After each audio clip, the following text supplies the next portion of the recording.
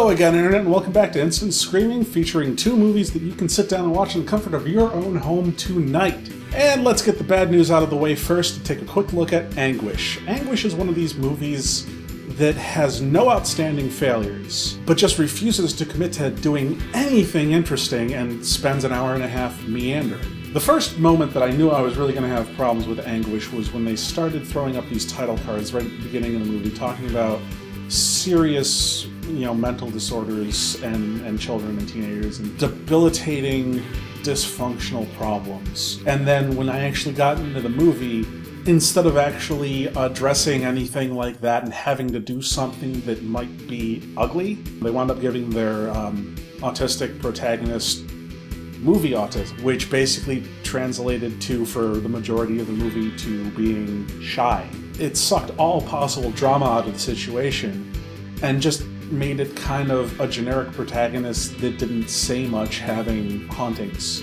happen to her. When she actually does start being haunted and possessed, some problems do crop up, and there's a few legitimately disturbing moments in there.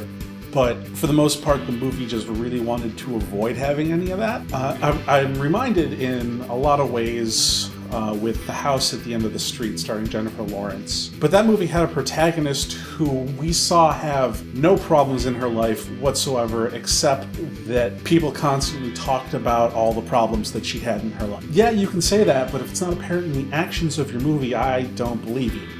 And that's kind of the problem that Anguish has, uh, where it's too committed to being safe and nice and pretty to tackle the disturbing stuff that it wanted to put in its subject matter. So the whole thing's just kind of a bit of a dud. It's got a couple of cool visuals, but there's no substance to it. Although, one thing I really do want an explanation for is there's a random scene in town where there's a character in the background who looks and stares at our protagonist for a little while and then puts on an animal face mask and wanders off. And it's never heard of or spoken about again. It just sort of happens, and I would love to know what the hell the story was behind that. But as unfortunately disappointing as that was, I do want to give you all a good movie just to keep everybody in good spirits. So here is He Never Died, and uh, this one should be available on Netflix. And here's the pitch, okay? Henry Rollins, right? Henry Rollins is Cain. Yeah, Cain, you know, from the Bible. Cain killed Abel and he is now an immortal cannibal still living in metropolitan USA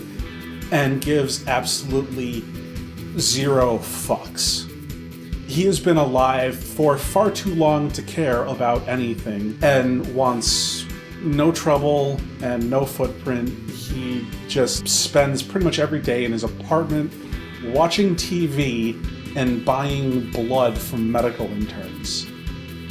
And he has no social skills and just does not give two craps about anything. Until he gets a surprise daughter and then she's kidnapped. So he has to try to get her back and that puts him in kind of unfortunate situations where he uh, his bloodlust is raised. The movie itself is kind of marketed as a bit of a, a horror comedy or a dark comedy, but I don't think it's like a horror comedy in the not in terms of like Shaun of the Dead or um, Tucker and Dale vs. Evil, it's not horror sit comedy. There's really no jokes. It's just kind of amusing watching Henry Rollins kind of deadpan his way around, delivering these emotionless and perfunctory ass whoopings on on these mobsters who've kidnapped his daughter, and kind of keeps you interested and going along until you get to the end of the movie and, and it gives a really interesting emotional turn where you realize that all the wooden deadpan just this apathy has completely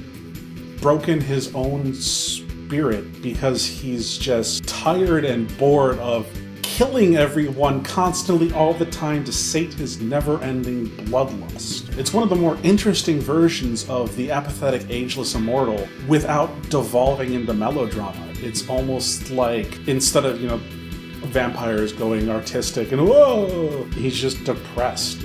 I couldn't imagine that I was ever going to end up in a situation where wooden and deadpan were words that I could use to praise a performance, but there you go. Henry Rollins is great to watch and He Never Died. But alas, our time is up for today. Hopefully, this helps you out. And if you've seen either of these two movies and want to weigh in, do please leave a comment below. Uh, otherwise, uh, leave any suggestions for movies that you'd like to see on this show or, or on Modern Horror. Like and subscribe for more videos. And uh, if you are feeling particularly awesome, you can support this show on Modern Horror by checking out our Patreon campaign here. Anyway, cheers.